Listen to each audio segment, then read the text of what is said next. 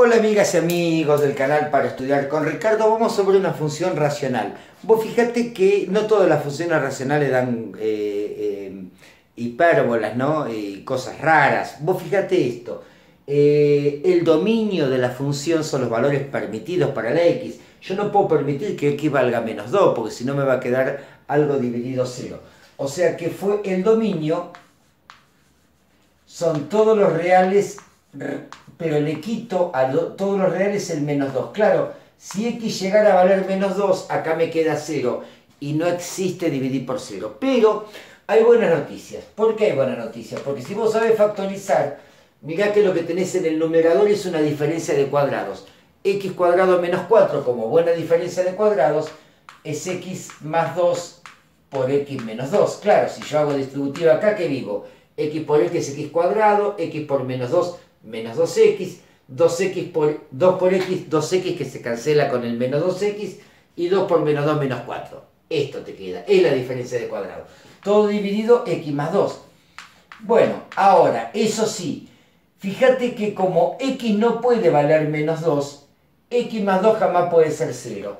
Y si x más 2 no puede ser 0, estamos hablando de dos números exactamente iguales distintos de 0. ¿Sabes cuánto da la división de dos números iguales distintos de 0? 1, siempre. 4 dividido 4, 0,1 dividido 0,1, 11 dividido 11, menos un tercio dividido menos un tercio. Dos números iguales divididos dan 1 y entonces esto me quedó x menos 2 con la aclaración de que x no puede valer nunca menos 2. Fíjate qué ocurre cuando vos te vas acercando a menos 2. A ver qué ocurre. Vamos a ver qué ocurre hacia dónde se dispara la función. Porque si yo tengo que graficar esto, ¿no?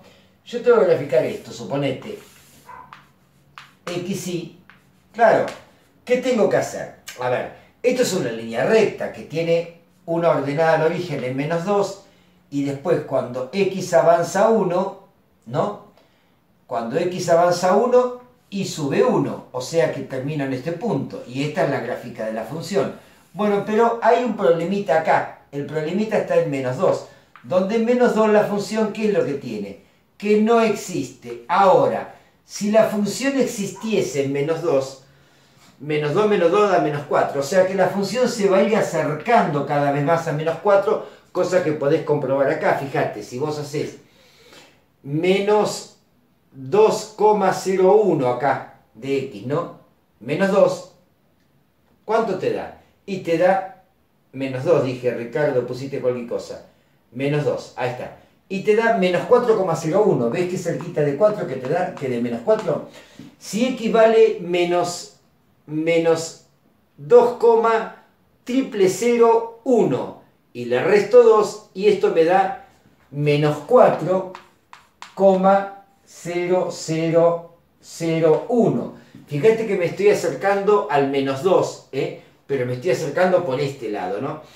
Y claro, y ahora, a ver, 1, 2, 3, 4, no sé cuántos ceros le puse, sí, le puse 3 ceros y un 1, ahora le voy a poner 4 ceros y un 1, menos 2, menos 2, le voy a poner 4 ceros, para que no le puse la coma, menos 2, coma, ahora le voy a poner 4 ceros y un 1, y a eso le resto 2, y esto me da menos 4, coma, y después vienen cuatro ceros y un 1. Claro, cada vez más cerca del 4. Y si te acercás por este lado, del menos 4, perdón. Y si te acercás por este lado pasa lo mismo. A ver, mira. Si equivale menos 1,99, menos 1,99, le resto 2 y me da menos 3,99.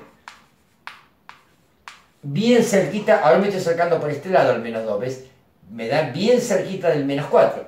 Y si vale menos 1,999, hago menos 1,999 menos 2 y esto me da menos 3,99. Quiere decir que a medida que x se va acercando al menos 2 y se va acercando indefectiblemente al menos 4. Bueno, gente linda, espero que haya quedado claro. Dudas, preguntas, consultas, me las sé llegar al WhatsApp. Y como siempre nos vemos en el próximo video. Chau, chau.